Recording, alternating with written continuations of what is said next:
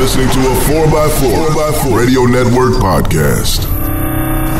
Are you ready? It's the Jeep Talk Show with Wendy, There will be body damage. Jeep Mama, Are you sure? Josh, Yeah, I don't think so. and Tony. I think that's a huge deal. So sit back, strap in, and brace yourself. Hey, it's time for me to remind you again to uh, get out there and let your friends and followers know about the Jeep Talk Show. We're trying to increase listenership, and uh, you know you're here, you're listening.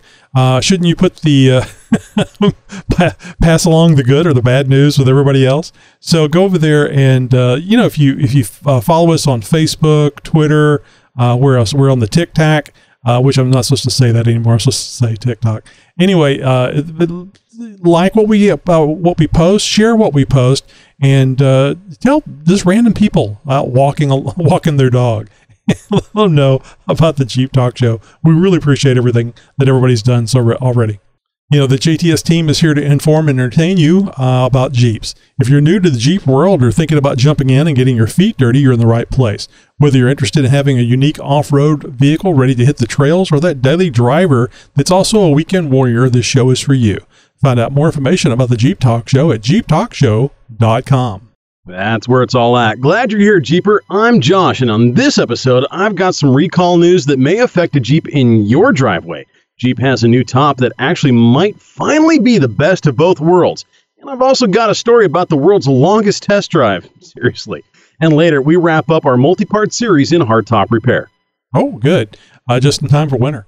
So uh, I, uh, th- th- th- I'm, I'm jumping this on on you, kind of uh, out of the blue, Josh. I know, but uh, I think you've done some welding, and I thought it might be a good idea to talk a little bit about welding tonight. Uh, I mean, really, just from the beginnings, because I've never welded. I've uh, never had a welding machine, which obviously would go along with that first statement.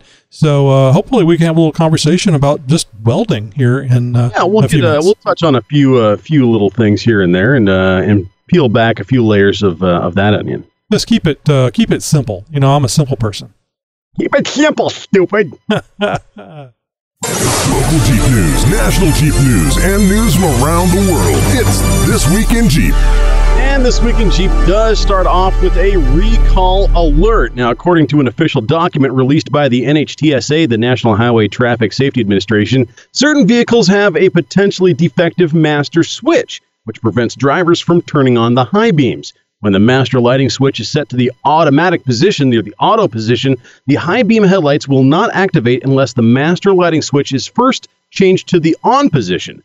The safety agency explains. Now, due to this concern, the 2021 Grand Cherokee L vehicles in question failed to comply with the requirements of Federal Motor Vehicle Safety Standard number 108 for lamps, reflective devices, and associated equipment.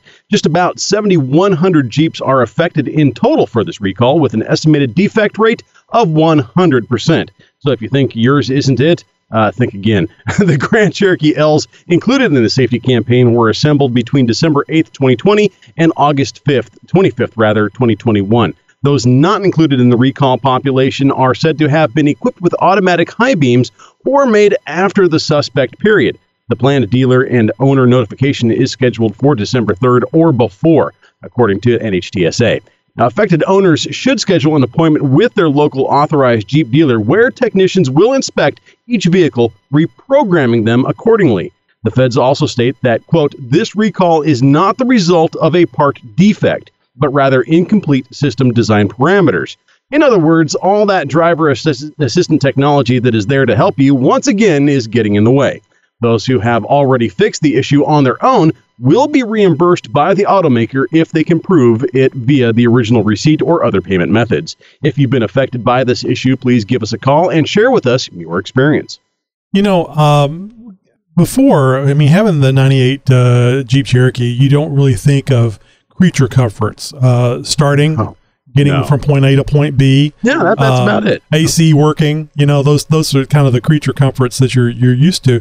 Uh, Mhm. and, and, and, I mean, don't get me wrong. In '98, the, the the things that the the the uh, Cherokee Classic that I had, uh, it had everything on it that you could get from the factory. Uh, even had the uh, upcountry uh, lift. So uh, it was really, I guess that would be kind of the equivalent of the Rubicon uh, version.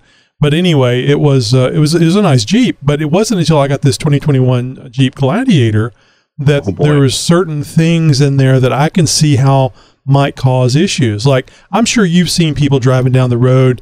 Uh, it's it's too dark. It's either dark or it's too dark because of the weather, the uh, the the cloud cover, and so on and so forth. Driving without any lights on. Oh yeah. And I, I think, yeah, I think I might better. Uh, they're they're probably just idiots, but I think I may better understand how that could happen to me now because on the Gladiator you have an automatic uh, setting for the headlights. Uh, uh, so you just flip it over there and leave it there, and it's going to turn the headlights on and off depending on the what it d- determines uh, is uh, Yeah, there's a little light light sensor on the dash. Yeah. uh, and, and and it you know determining on uh, d- depending on what kind of you know lumens it's seeing, uh, it may or may not be turning on your lights when you want it to. But now imagine somebody else is driving your vehicle and they switch it over to just running lights and or they turn it off altogether. And you're just driving down the road going, "Uh, this is something I don't have to worry about. the the vehicle will take care of it for me. And now you're driving uh, not safely uh, by not having you know this, even the running lights on. So I can better understand how this automation can cause issues uh, and and could cause an accident because of it. And, but this whole time you just been thinking that oh, there's Josh on a rant again for no reason whatsoever. But now, now you're starting to understand a little bit where I'm coming from. Oh, absolutely. I mean, don't get me wrong. It's really nice. It's just something I don't have to mess with. But it probably wouldn't be a bad idea for me to check that. And all, it's kind of hard for me to see. I don't know if you remember when you were driving the, the Gladiator. There's uh, uh, some controls there, uh, lower uh, left hand side, and you really can't see Oh, them with the steering wheel right. in the way. So, uh, but reaching up over there and just turning that big knob, uh, making sure it's it's full right, will make sure that it's uh, in that automatic setting. Uh, but even then, got the muscle memory incorporated in it. It's not even this the, the position. You know that it's full right is where it needs to be. Yep. And and you could you not even looking, just reach over there and, and, and fiddle with the knob and verify. Okay, it's turned all the way. You know, uh, clockwise. I'm good to go. oh, and in fact, I, I would have to stop what I was doing and look at the knob to see how it just to turn the lights on because I don't just turn the lights on. I don't don't- just don't don't just turn on the the the, the running lights. It's auto, auto or off. That's the only two things because that's full left or full right. So Gee. Yeah, uh, it's it's like they used to say when calculators came out. You're, you're not gonna let you you're gonna forget how to add and subtract for the calculator. Calculators aren't you can't have them in the classroom. Forget how to turn on the headlights. Yeah. Yeah, Uh, too funny. Too funny. Well, according to Stellantis, the newest Mopar offering from the Jeep Performance Parts division is the new Sunrider flip top roof. Jeep customers have for decades enjoyed removable soft and hard tops, each taking turns over the years as the standard equipment for the Jeep Wrangler. Now, both Jeep Wranglers and Gladiators have standard and premium soft tops available, as well as hard top options. Although they look identical, the premium versions uh, between the uh, soft tops are made with a more durable canvas material instead of a vinyl material. Both can be easily rolled down without the need for tools, but doing so eats up valuable cargo space. Drivers who want another layer of protection against the elements obviously opt for the removable hardtop. This one can also be optioned with a Mopar headliner for better insulation, plus it can be uh, outfitted with roof racks and other accessories. The downside is that it's bulkier and heavier and isn't as easy to store or remove. While it is expensive, the one touch sky top roof is also a great option. Much like a sunroof, the whole roof can be rolled back with the press of a button. Panoramic sunroofs are also optional on several other Jeep SUVs, including both Cherokee models. Stellantis says that the new Sunrider flip top is made from black twill fabric, reportedly offering better protection against the elements. Unlike the regular soft top, this one only unrolls for the front row passengers. Think of it as a fabric sunroof for your Wrangler that you operate yourself. The mechanism can be easily flipped forward and back at a moment's notice. The Sunrider flip top can be installed either at the dealership, but the automaker says the installation process is easy enough for the do it yourselfer too. The new top is available for 2018 to 2021 Wranglers and all models of the Jeep Gladiator. For both vehicles, it has a suggested retail price of $895. So What do you think, Tony? I wonder if this is uh, the Bestop. Uh, I wonder if they've just you know branded it for their own, and this is really just the Bestop because I know Bestop. I was just trying to look it up here real quick uh, to see if it's the, it looks like it's the same one or not. Uh, people really like that fold back uh, cover uh, that uh, you know exposes the driver and the passenger side of the Mhm. vehicle. Um, well, that's what the uh, the Freedom Top with the JL uh, did. Uh, it gave you that option of removing to those front two panels to expose just the driver and the passenger in the front seat to that, giving them that that open air experience, as it were. Yep, uh, I just pulled it up, and it is. It's even called the same thing, Sunrider for hardtop on the Bestop site uh, for the uh, the JL, the 2021, uh, also for the 2021 20 and 2021 Gladiator. Um, 750 to 899 is uh, is what they what it goes for. So No, yeah, I'm- that's what I thought. I figured it was Bestop, and uh, this is great that um, that uh, Jeep is uh, putting this as a uh, a, a performance add-on, not from the not from the factory, but you can buy this separately. Is is, is that that's what that means, right? Correct. Yeah. Now you could, uh, you know, spend the 800, 900 bucks, whatever it is, and and you know, go to the dealership, have them put it in. But I'm really kind of curious to see what the procedure is uh, to install this. Uh, if you have to modify the top, if there's cutting involved, uh, how all that would work exactly. Uh, this looks interesting to me, and and it kind of like I was uh, saying earlier in the show, kind of the best of both worlds, as it were. You kind of get that the um, this, the open air that you do with the with the Freedom Top and, and being able to remove just those front two panels, uh, exposing the, uh, the the front two seats to the to the sky, as it were. Uh, but you know, with the ease of a soft top, but still retaining all the security, warmth, and protection of a of a hard top with the rest of the of the of the top of the vehicle. So I, I don't know. It's interesting engineering. I'm I'm really curious about the installation, the modification process to put this in. Uh, I'm curious about uh, wind noise, things like that. Uh, is there any water intrusion if the Jeep is facing downhill? Um, I, ha- I have a lot of questions. I really want to see one of these in person. Uh, I don't know when they're going to make it to my area, uh, whether or not any of the dealerships are going to put any in in uh, any show vehicles with limited inventory. So it'll be kind of curious to see when and if uh, we start seeing these things out in the general public. Yep. Um, I like the idea from the standpoint. Well, my wife likes it on her. She has the NX Trek top for her TJ, and it Mhm. does it does exactly this. You just flip it back, and you can be driving down the road and flip it back. Although I wouldn't wouldn't uh, recommend doing it about twenty miles an hour. Yeah, I was going to say. but uh, certainly in stop and go traffic, or you know, if you're on the on the beach or something, and you you really don't want to stop, you you and a uh, passenger could easily flip this thing back, and you have that open air experience.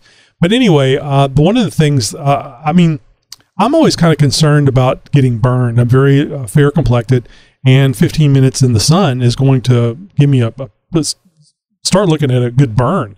So well, you wear hats a lot too, though, yeah. and and you're already, you know, your arm is probably already exposed. You have a driving arm, you know, that's going to be exposed to more UV rays than your other arm. So, I mean, you already kind of got some exposure going on, anyways. Yet, yes, granted, this is sort of opening up, uh, opening you up to harm's way, as it were. Uh, but you know, with a with a hat, and uh, you know, I mean, during the, I could see, you know, during the fall and spring when it's not really all that hot out, maybe you're wearing a hoodie or a long sleeve shirt. Uh, you know, something like Oh, that. yeah. Uh, Well, it's- th- this would be it- it's all really nice. it's all about the direct sun exposure. But anyway, what I was going to mention was I really like the clear lids, which is uh, the that covers the same area, but it's uh, that um, uh, canopy, uh, you know, fighter pilot canopy. yeah, uh, polycarbonate yeah. material or something like I, that. thought yeah. I thought that was a really cool idea. Now I don't know how hot it gets if you're driving down the road and you're getting that direct sunlight. You know, Think of a greenhouse, yes. pretty much made of the same material. So But but the cool thing is is that it doesn't uh, keep you from being able to use the Freedom Top that you have. So I can see having one of these things, but at thirteen hundred dollars, I don't know. Right? Yeah, I, I'm I'm kind of curious to see what the dealership is going to charge to install them. I'm sure that's another thousand bucks. Who knows? Uh, really. So, uh, if anybody out there within the sound of my voice has one of these or has recently purchased a Jeep that uh, uh, you got this as an option, uh, please let us know. Give us a call. Uh, right into the show. Um, let us know what you think of it, and uh, maybe we'll uh, ask you a few questions and uh, and get you get a review out of you. You know, I don't know where you uh, you get your Jeep news from, Josh, but this is funny because somebody in the uh, Discord server posted this uh, this next one uh, up in there, and I, I actually was going to send it to you because I thought it, Oh. you know, the dumb criminal stories. yes. well, uh, ever since we uh, crested uh, crested the 500 episode mark, I- I've been making a, a commitment to the show to to bring you guys more of the dumb criminal stories. Uh, they seem to be a big hit. I have a lot of fun with them as well. Uh, and they, they just are, are a really entertaining story, and, and why not, if nothing else, right? Uh, this week it was a little bit of a slow week for dumb uh, Jeep criminals, uh, but this one nonetheless was uh, was was a pretty good one. A, a Sumter County man is wanted after quote unquote failing to return a Jeep after taking it on a test drive. Eugene Ned, who's 45 years old, is wanted on the charges of breach of trust with fraudulent intent. Reports from the Sumter County Sheriff's Department say on October 18th, Ned test drove a 2019 Jeep Grand Cherokee and just never returned it back to the lot. the dealership is located at 2600 Broad Street. If you see Ned, please call 911. If you have any information, well, call the Sumter County uh, Sheriff's Office, or you can also submit a tip to Crime Stoppers at midlandcrimestoppers.com. We've got a picture of both him and a 2019 Jeep Cherokee up on the website in the show notes for this episode at jeeptalkshow.com. Now, I got to wonder, and this is, I think, the comment that I made in the Discord uh, server is what's the end game here? I mean, you, you've worked this What thing out in your head. I- really, what are the excuses? I mean, we could we could you know ballpark this all day long. Uh, you know, it's like, oh, I I thought I had a three day test drive period. I thought oh, I heard on the yeah. radio you guys offer you know three days. Was that not your dealership? Oh, I'm sorry, I must have been mistaken. My bad. Here you go. No, I mean, what, what you know? Uh, it's like, oh, I ran out of gas. Uh, I didn't know what to do. Uh, I, I, I've got a condition where I forget where I came from. Uh, let's see, where, where else can we go with this? You know, I don't. The sun was in my eyes. Uh, you know, the wife said I, I had to keep it no matter what. I just thought I, I would. I, I don't know. Well, know, you know, we don't know for sure, but I would think that at least you give false information. You know, you don't give them actually your your name, your driver's license. You have one made if you're gonna, you know, steal the vehicle. And I would assume that you don't plan on driving it. You're gonna be taking it to or a chop shop or to have it, yeah, an oil change done at a shop or anything. Yeah, no. Th- this is. I mean, you're right. What's the end game here? How long can you really expect to to play this one out? Uh, so yeah, this is uh, it's just not a good idea. I'm sure a lot of us have thought about the. You know, I'm going to go to the Chevy dealership today and test drive a Vette. Maybe just take that test drive and extend it for a week. Who knows? You know, what's the worst that could happen? so I know Well, you're going to get the cops called. You're going to get arrested. So I know there's some areas of the country that are uh, changing uh, shoplifting to a misdemeanor. Do you think maybe this guy just got confused and thought he was in one of those areas and it's kind of like shoplifting? Really though i mean because in my neck of the woods they're pretty much not prosecuting Yeah. anything uh, underneath a murder uh, a rape or uh, a child abuse. I, I heard it on the radio this morning. They, they're just not investigating any crimes that are underneath those. It, it welcome to portland oregon everybody. Yeah, it makes you wonder what the insurance companies are going to do because it's really just putting that putting it on the insurance companies uh, to, I'm, sure I've to- got a, I'm sure i've got a letter in the mail to- to- well, I'm no, I'm thinking it's going to be well. You know, we hate to inform you, but we can no longer insure your business because you know, oh because you've had too many people not return the test drives yeah, because I mean, or just the shoplifting thing. I mean, the well that's why walgreens is, is shutting up shop left and right I, all over I saw that, yes, and then and now they're going to be complaining about uh, being underserved in certain areas. It's it's a crazy crazy time. So I, I wonder if this. I mean, making light of this, but I mean, I wonder if this has something to do with the the end game that I was talking about. I mean, it, do you think there's going to come a time where you know you take a test drive a vehicle and you don't bring it back? It's like, oh well.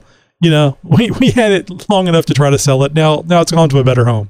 I just I just Lord. don't understand.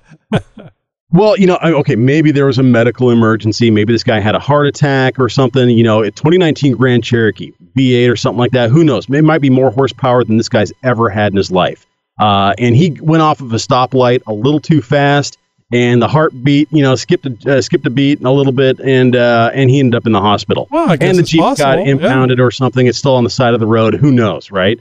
Uh, maybe uh, you know uh, he got a call and and Mama's in the hospital, uh, but she lives on the other side of the uh, of the nation, uh, and he didn't have a ride, so he's got a you know a, a 1978 Duster or something like that that is just on its last leg, and and that ain't gonna make it. So he decided to go for a test drive and something that would be comfortable to drive across seven states, and well, he's just visiting mommy. You can't blame the guy, right? It'll be interesting. Uh, hopefully, we'll hear the the other half of this story, and it'll be interesting to find out what the reasoning was, what the end Really, game was. I gotta hear the excuse. I don't know.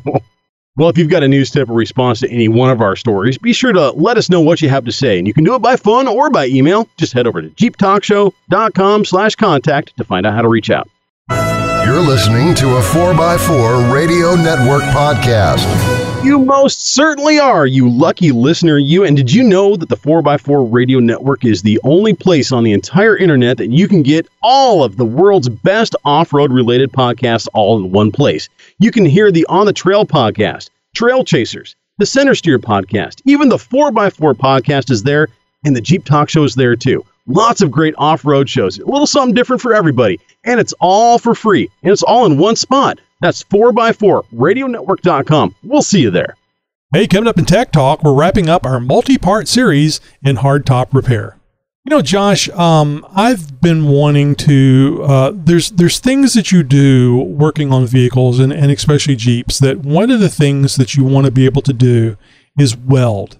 Whether it is uh, your exhaust system, you know, be able to do your own exhaust modifications, a uh, lot cheaper, a lot easier to do it at home than it is to take some place and wait and then hopefully do it. They do it right. Do it wrong yourself, I say. So uh, I think a welder is almost one of those things that every Jeeper should have. Of course, not every Jeeper has the proclivity to use a welding machine, uh, or maybe they're just doubtful of their, their own abilities. But uh, I know I've wanted one for a while, and I believe you've done some welding uh, in oh, the sure. past. Uh, yeah, I even have a weld. Yeah. What kind is it? Is it uh, stick, uh, MIG, uh, It's a it's a it's a Lincoln. It's a 240 volt uh, uh, Lincoln MIG welder. Uh, I do not have a gas tank for it. Uh, I'm I'm uh, currently gasless right now. Uh, that that will change in in the future though. Uh, so I'm running a flux core uh, welding right now, and and the reason for that is, and I'll, I'll get into uh, I'll, get into the welding uh, a little bit. There's there's different kinds. Uh, Tony, you you mentioned stick. Uh, I mentioned MIG. There's also TIG welding. Uh, MIG stands for metal inert gas. TIG stands for tungsten inert gas. Uh, TIG welding is is typically the go-to for things like aluminum, stainless steel, things like that.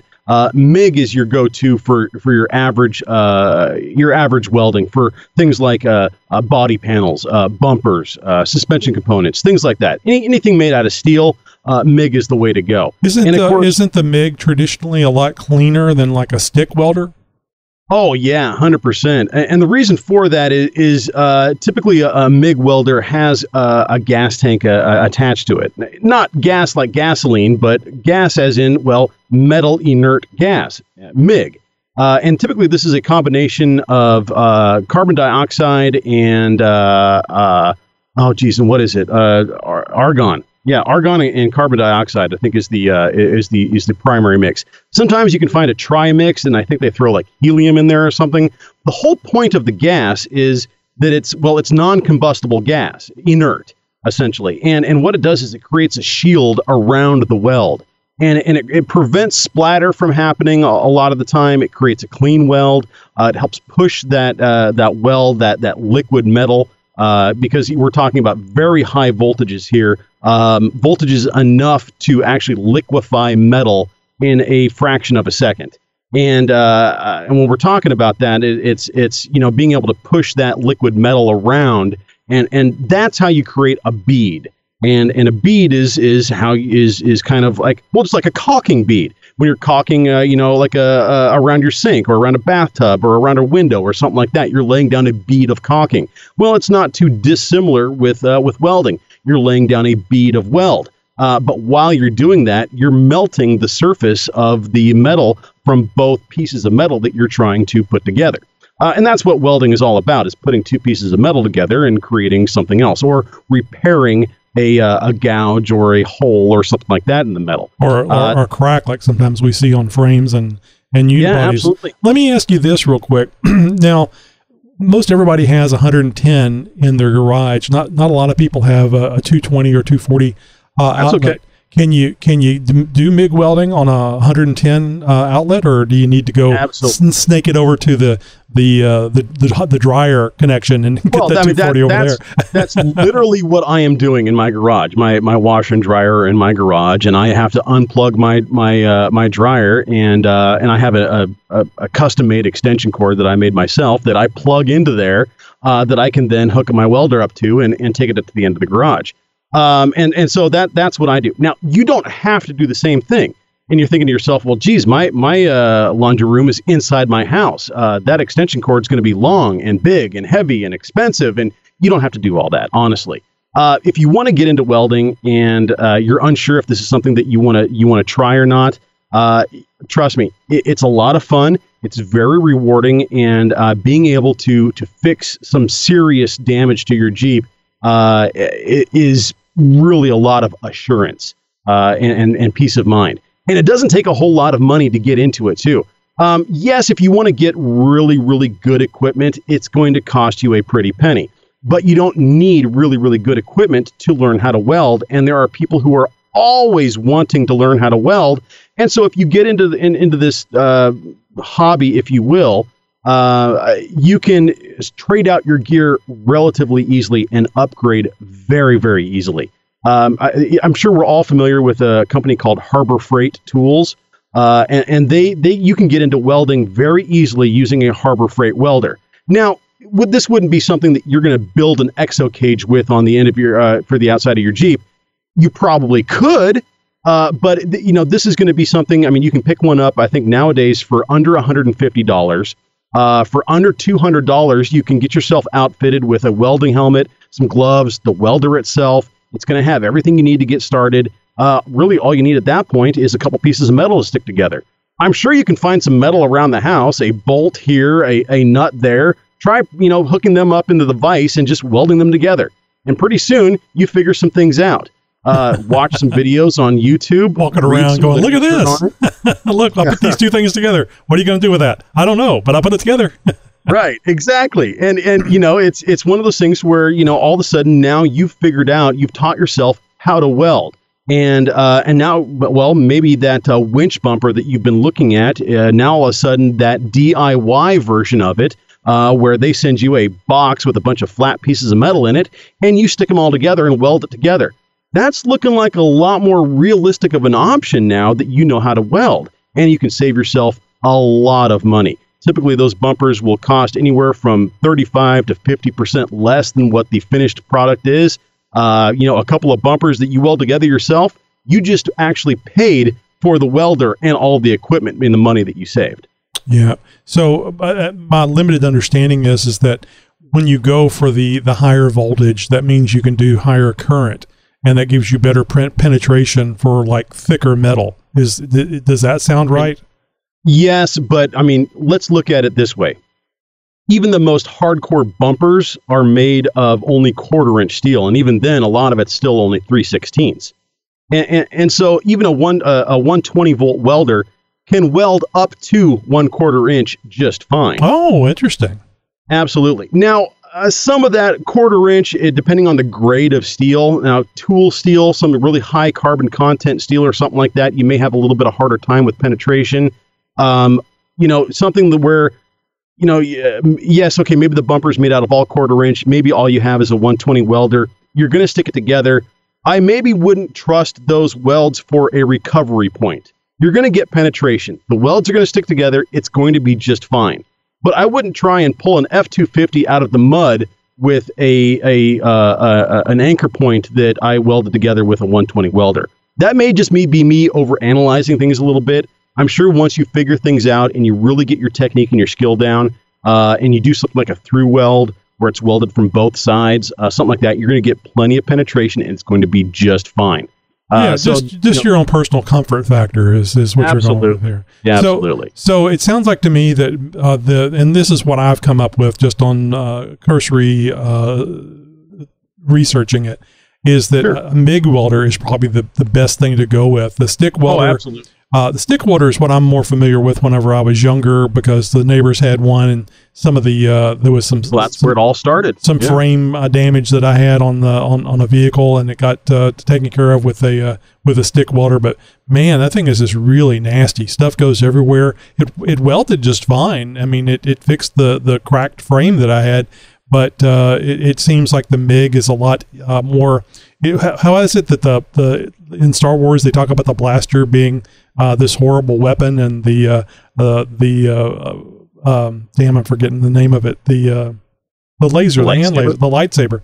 The lightsabers for a more civilized, Oh yes, right. a more civilized individual, lightsaber and, discussion, and the yeah. MIG, MIG being kind of a more civilized thing. So was it was it very difficult uh, to uh, get the the settings right? Did you have to have somebody uh, walk you through it, or That's where um, a, a lot of the trial and error comes in. Now, a lot of welders will have a chart built into a cover that is on the side of it. You lift open a flap. This is where you're going to get into the components, uh, change out the wiring for for different kinds of welding, uh, or you're going to swap out the actual welding wire.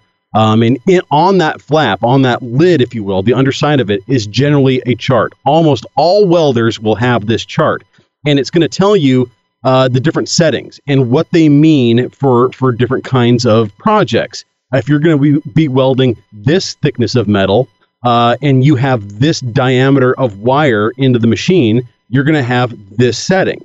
And, and and those settings change depending on the wire thickness that you're using and the thickness of the metal that you're working with. And and that will get you a a starting point. And then you adjust from there. You may adjust down, you may adjust up, you may adjust your voltage up or down, you may adjust your wire speed, your, feed uh, up and down, how much wire is pushed out of the end of the gun. Um, and, and how this works is, is essentially you're, you're you're grounding, you if you will, um, your, your work surface, the metal that you're that you're going to be welding. And then the gun itself is is the positive end. And you're shorting it out. You're creating an arc of very, very high amperage electricity, high voltage, um, that is enough to melt the metal and the wire itself and create a pool of molten metal that all hardens and bonds itself together and, and creates that that creates that weld. Uh, and so, depending on the diameter of that wire, uh, what it's made out of, and the thickness of the metal and the kind of metal that you're using, is going to determine all of those different settings. Uh, the wire feed and, and voltage setting, and, and generally those are the only two settings that you really have to worry about on a uh, on a entry level welder. Well, it's really cool, and I apologize. We're talking about this longer than what I anticipated, but it's just a really interesting subject, and uh, we're going to need to talk about it some more in the future. Why did you become a paid subscriber to the Jeep Talk Show? Jeep Talk Show is in my weekly rotation. Look forward to it every week, each and every Friday. You can be a paid subscriber and help support the show you love, the Jeep Talk Show. I support a great podcast. Been a lifelong Jeeper myself. Continue to learn with each and every episode that I listen to. Just go to JeepTalkShow.com and look for the big yellow subscribe button. Absolutely. If you like Jeeps, anything to do with Jeeps, I like it for the, the technical, clear content, uh, advice, and learning. Yep, yep. If you'd like to become a paid subscriber to the Jeep Talk Show, just go over to jeeptalkshow.com. Uh, if you can go to slash contact, you can look up at the top where it says uh, store. Uh, there's uh, multiple ways to become a, a paid subscriber.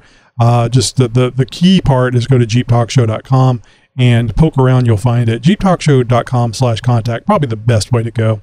And uh, you can, there's multiple levels for paid subscriber and uh, there's even uh, a way to uh, get some of those uh, uh, rat bastard toe tags if you'd like to uh, uh, infect uh, some uh, some jeeps, be, uh, an infectious agent. From the mind of Nikki G. Hey, this is Nikki G. And uh, last week, Wendy, you talked about somebody on your trail ride broke a sector shaft.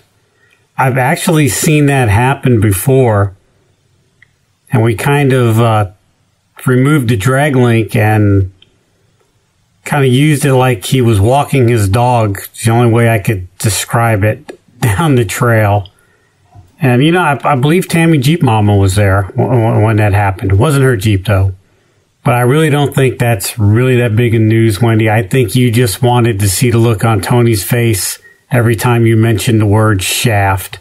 That's not why I'm calling. calling to tell you I'm thinking about getting a job cleaning mirrors. Yeah, it's something I can really see myself doing. All right, boys and girls. Boy, that one was horrible. All right, I'll chat at you later. Have a good one. Bye. Oh, when you can't stand your own brand, man. You know, you know the fart. The, the fart is really bad when you find it stinky. yeah. oh, great stuff. You got tech questions? Ah, boy, do I ever. We have answers. Oh, that's good, because I can. I, It's Tech Talk with Jeep Talk. Yahoo!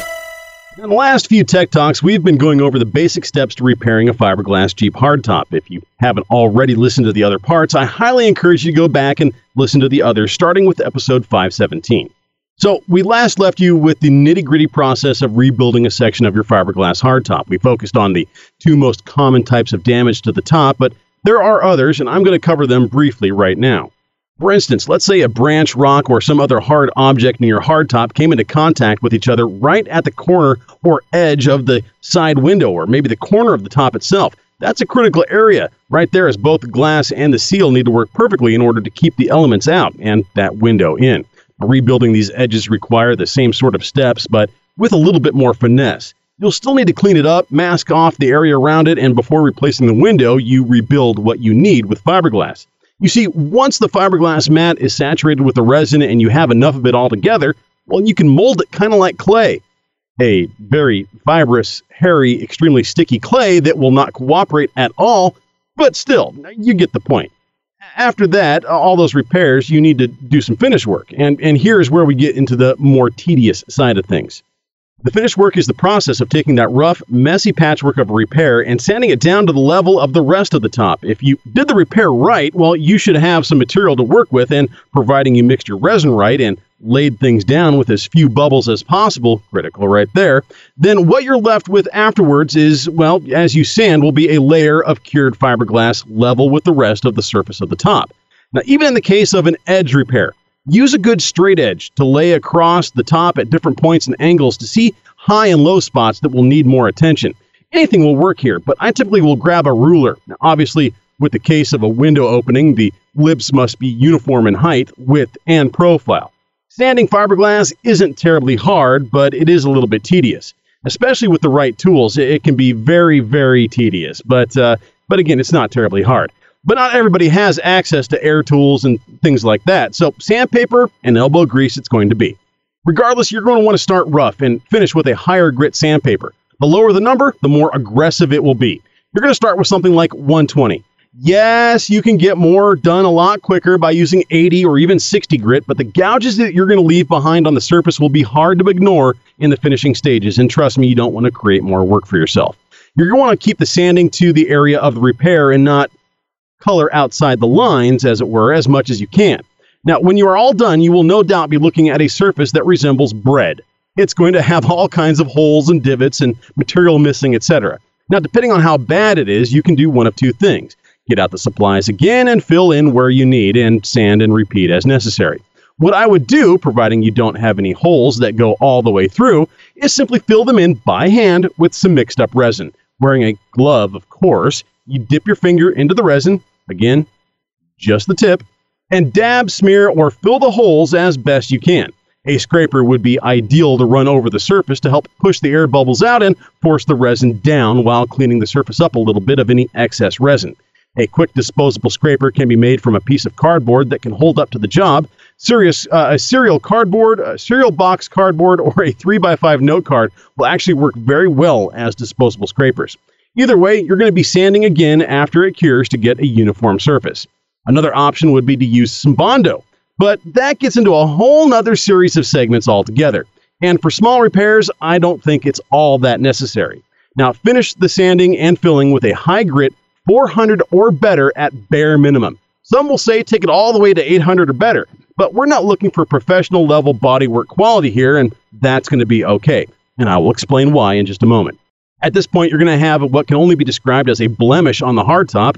Now, I started this whole series by saying that if you have a color matched hardtop, that a whole other level of skills are going to be required to make it look good again. Even so, there's still going to be some work that will need to be done to make sure that the final steps will have good results. Painting the top. That's what I'm talking about here. Depending on the age of the top, you may opt to mask off the windows, rear hatch hinges, and seals, and all that sort of stuff, and just paint the whole darn thing which is actually a lot easier than you think. Otherwise, you're going to have some very black paint on a very not black top or tan or whatever your color top is. Now, I'd recommend using bedliner for repainting the hard top. Its bumpy finish and thick texture is perfect for hiding the small imperfections of your repair and sanding. The roll on kind would work very well, but I've had good results, oddly enough, with the spray can version from DuPont with Teflon in it. Makes for easy cleanups after a day in the dirt. But if by now you feel overwhelmed and unsure if this is something that you even want to try on your own hardtop, well, let me give you an alternative to half of this. It's called kitty hair. That's right, kitty hair. What it is is a mixture of fiberglass and Bondo together. You still mix it with a hardening agent and it and will need to mask things off to a certain extent. You'll still need to fill in sand like before, but it reduces a lot of the prep and the risk, and it's a lot easier to work with. The results can be arguably different, though, and it may not adhere as well to the top or stay in place as the top flexes with the Jeep on the trail, depending on a number of factors, too. Now, either way, here's some advice if you want to get practice, if you want to get some practice in using either fiberglass or kitty hair. Go down to the local wrecking yard and see if they have any totaled vehicles with fiberglass tops. Doesn't have to be a Jeep per se, could be anything. But be armed with a cordless sawzall or hole saw, though, go find you a chunk of, you know, junk hardtop to go practice on. All you need is about one square foot chunk or less, but, you know, don't go and take a hole saw to that abandoned boat down in the industrial district. boat holes use both fiberglass and gel coat, which is a whole entirely different beast altogether, and it's nothing you want to mess with in practicing for your Jeep repair. Another option would be to go to your local Lowe's or Home Depot hardware store and uh, go to the roofing section and see if they have any corrugated fiberglass roofing. This is going to be the green stuff that you typically see on porch covers or shed roofs. It's going to be about 10 times thinner than a Jeep top, but punch a few holes in it, snap off a corner, and see if you can't fix it. It'll be good practice. Chances are, however, that all you're going to find is polycarbonate panels, which absolutely will not work for this, so don't even bother. Look around, and if you see one that resembles the fibrous nature of, a, fiberglass, well, then you found what you're looking for. Now, I know all this seems way out of your ability to pull off, but if you're even thinking about it, I'd say give it a shot.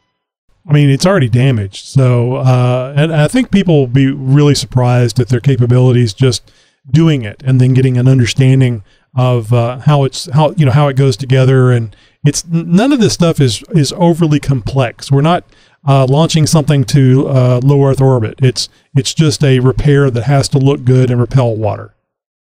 Pretty much. Now, like with anything, you're learning a new skill set here. You're working with some new materials that you've never used before. It's kind of like riding a bike, honestly. It's going to take some practice at first. You're probably going to fall down and, and, and you know bruise yourself. You are going to get hurt. You know who knows. Um, no, not not really. You're not going to injure yourself uh, doing this sort of stuff. But really, it's going to give you a nice skill set, a, a, something else that you can turn to uh, and, and learn about. And and honestly, the world of fiberglass uh, it opens the doors to a lot of possibilities as far as just fabrication in your own life uh, personally. Uh, plus, it's really cool and fun to work with. So, uh, if nothing else, I mean, you can get everything started for well under a hundred bucks. Uh, and and have everything that you need to, including the tools, uh, to get started and, and do this sort of stuff, and and figure out if this is going to be for you and if it's something that you can actually pull off and do on something more serious like the actual top on your Jeep. Yep. Uh, oh, and also uh, make sure that you take uh, all the safety measures into uh, into consideration. You want to make sure that you uh, protect your eyes, your hands, anything that the uh, fiberglass might get on, and and of course, and your lungs. yes, yeah. yes, and in inhaling the the the nauseous chemicals. I can't think you can get quite high off of fiberglass, can't you? Well, it's not. It's not just that, Tony. It's the. It's the uh, when you're sanding and stuff. I mean, I, I talked about using uh, uh, protective equipment when you're actually working with the fiberglass. Man, this goes doubly for when you're doing the finish work and, and sanding. Fiberglass dust is going to be just as irritating to your nasal passages, your eyes, uh, your lungs, everything else, um, as anything else in this whole process is. So, uh, really, if you're going to be using safety equipment now during this final stage, is the time to do it if you're going to do it at all. Yep, yep. So be careful. Uh, don't uh, don't just leave it up to the Jeep Talk Show to uh, give you uh, uh, safety tips. There's lots of searching you can do, and lots of reading you can do. Just be safe when you're doing this stuff. Oh, absolutely. Yeah. I mean, YouTube is your friend. Um, you know, uh, I'm sure there's a fiberglass for dummies book out there that, you know, would have some good information for it. But uh, do as much of the research as you can and teach yourself uh, everything you need to know. There's a lot of stuff on, out there to learn, uh, and you can pick this stuff up. Well, if you have anything to add, maybe you have a question for Tech Talk, just jump over to jeeptalkshow.com slash contact and be sure to send us a message. And don't forget, Jeeper, it's very easy to sign up for the Jeep Talk Show newsletter all the great information about what's going on with the show and The links and all the other information you need to join in on the fun is all in the newsletter. Just go to jeeptalkshow.com slash contact and you're going to find a link to click and sign up. Hey, don't worry. It's just as easy to unsubscribe as it is to subscribe. Well, that's it for the show for this week, my fellow Jeeper. Until next week, be sure to become a paid subscriber. And as always, thank you for listening to the world's most downloaded Jeep podcast. And of all the paths that you take in life, make sure at least some of them are dirt and rock. Oh, yeah. Podcasting since 2010.